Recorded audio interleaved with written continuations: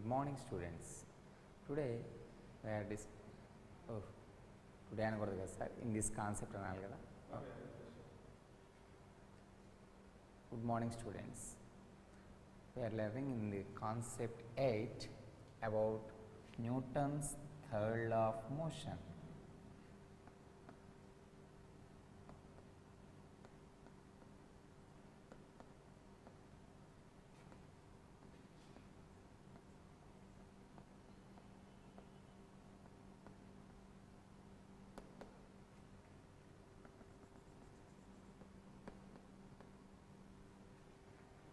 So, in Newton's third law of motion, till now we identified different types of forces. Now, in this Newton's third law of motion, we are saying how the force develops. What saying in his Newton's third law is if any two bodies are interacted with each other, two bodies A and B, they are interacting with each other the force exerting by the body A on B is equal to the force exerting by the body B on A. If any two bodies A and B are interacting with each other, the force exerted by the body A on B is equal to force exerted by the body B on A. That is, if any one of the force if you are taking as a action and another force we are taking as a reaction. So, simply we are saying are, for every action there is an equal and opposite reaction.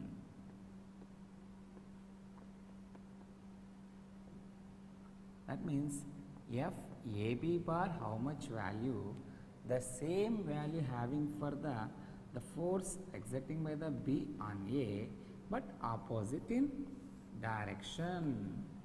Now from this one what we are understanding is the force always exists in pairs. Single isolated force does not acts. Now any, so many examples having for this one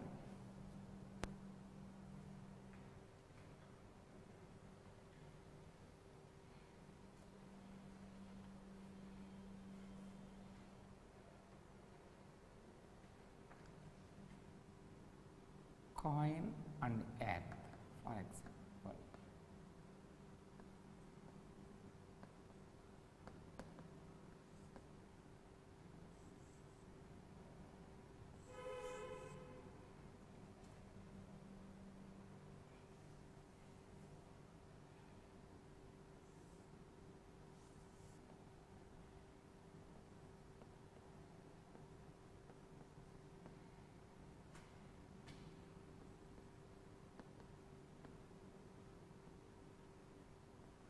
All of you know a coin falls on the earth due to gravity. Why? Because of the earth attracts the coin towards its center. That means the force exerted by the earth on the coin in this direction. But you have to understand here earth and coin are the two bodies there is an interaction between the two bodies the only you are, feeling the earth is exerting force on the coin. But what Newton saying is how much eh, force exerting by the earth on the coin the same force exerting by the coin on the earth. So this is the action and one is a Rea another one is a reaction. That means how much force exerting by the earth on the coin, the same force, equal force exerting by the coin on the air, but in opposite in direction. But we are not feeling earth is accelerating towards the coin. Why? Because here the forces are having equal in magnitudes, but the f is equal to ma the mass of the body, the forces are equal, ma is equal to constant and acceleration is proportional to the 1 by m. Now, the mass of the body is less, the acceleration is more. If the mass of the body is more, acceleration is less. So, the coin is a very less mass, the force acting on this one having the considerable acceleration that one we are feeling, the coin exerting the force on the earth in this direction, but that is very very less value. It is a very very less amount, we are not feeling that one. So, but the force exerted by the coin on the earth is equal to the force exerted by the earth on the coin. That is about the in action reaction. And another example.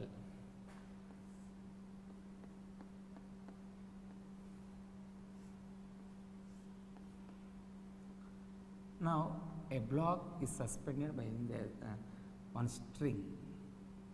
Now, all of you say, uh, what are the action and reaction forces on this one? All of you know this body, on this body mg acts in downward direction and tensional force develops in upward direction. Now, the downward force mg is balanced by the tensional force that is why this block is at rest. But these two forces are not action and reaction forces. These two forces are equal and opposite direction. But what is the action for this one? That one you try to understand. Now, this is the earth surface. Now, the earth is attracting this body in downward direction that is mg acting in downward direction. Now, the same this is we are if we call it is action the same force developing by this coil in this block on this earth that is a reaction for this force.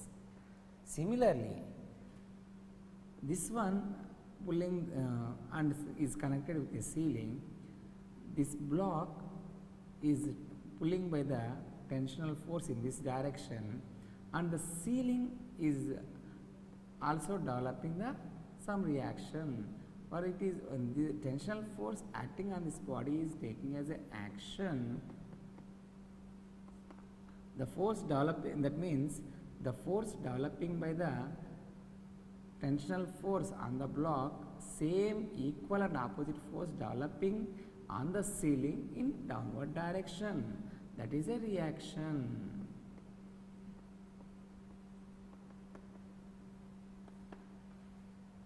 All of you understood this one? Once again, here a block is suspended to a string. Now, this total system, all of you know, the block is mg acting in downward direction and tensional force acts in upward direction. Now, action now that mg and tensional force are not a action reaction pair. Now, here these two forces are equal and opposite forces only. What are the action for that reaction? Now, that means now mg is the force acting in vertically downward direction that is pulling by the earth. Earth is pulling that body in downward direction that is the action. This block exerting the force on the earth is a reaction. Similarly, the force developing on this one by the ceiling through the wire is a action. The block developing on the uh, ceiling in downward direction is a reaction.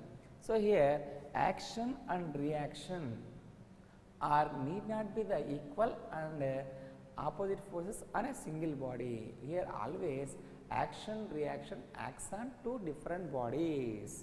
Another example, for example,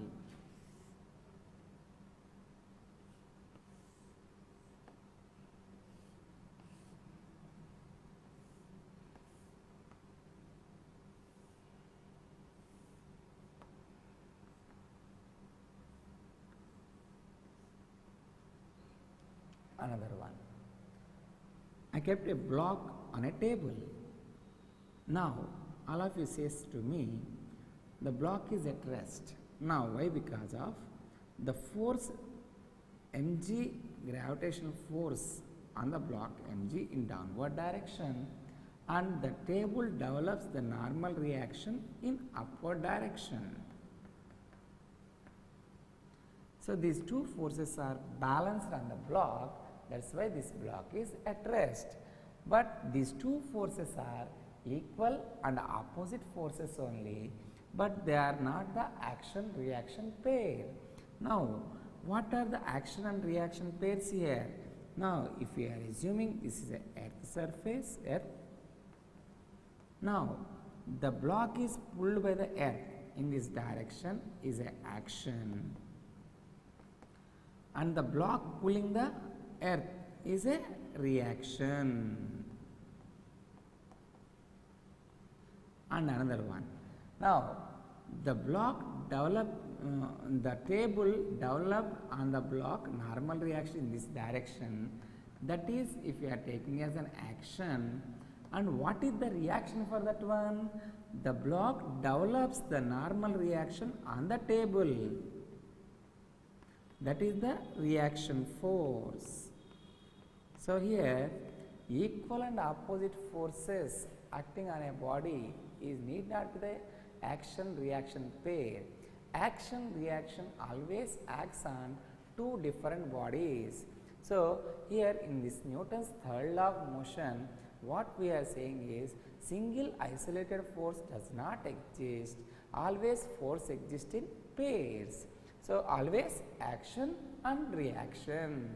So, action and reaction acts on two different bodies. So, so many examples one fish is swimming in a water by pushing the water the uh, fish moves forward. So, so many rock, rocket also the gas coming out of that one that is a action the rocket moves forward is a reaction.